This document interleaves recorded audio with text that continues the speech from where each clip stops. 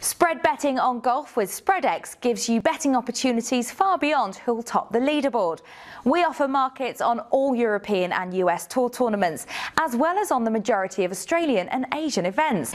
You can bet on markets such as the total score of the winning player in a tournament, the number of players who will make the cut and finish under par in a given event, or the lowest round recorded by a single player during a certain competition. Buy if you think the outcome will be higher than our price, or sell if you feel it will be lower. The more right you are, the more you can win. But be careful because if you're wrong, you could lose more than your initial stake. Some of the most popular markets are bets on where players will finish in the field via our finishing positions and leaderboard index markets.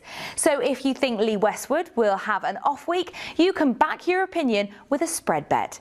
It's important to note that with a finishing positions bet, you would sell on the Spreadex price if you thought a player would do well and buy on the price if you thought the player would perform badly. So if Spreadex quoted a player's finishing position as between 41 to 44, you would sell it if you thought he would finish 40th or better or buy if you felt he would finish 45th or worse.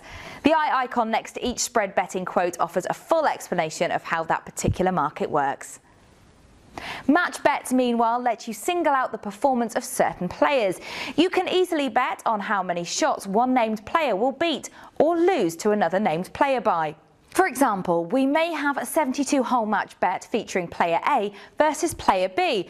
If you fancy player A over player B, you might buy £10 of player A at 2. For every shot player A beats player B by over 72 holes, he scores one point.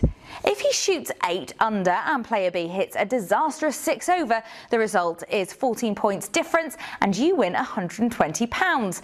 The difference between the makeup of 14 and your buy price of 2 multiplied by your £10 stake. However, if player B shot 8 under and player A 5 under, the market would have a negative difference of minus 3, meaning you would lose £50. The negative 5 point difference between your buy price and the makeup of minus 3 multiplied by your £10 stake. Don't forget that Spreadex also offers a full range of fixed odds golf bets with prices in fractional or decimal format.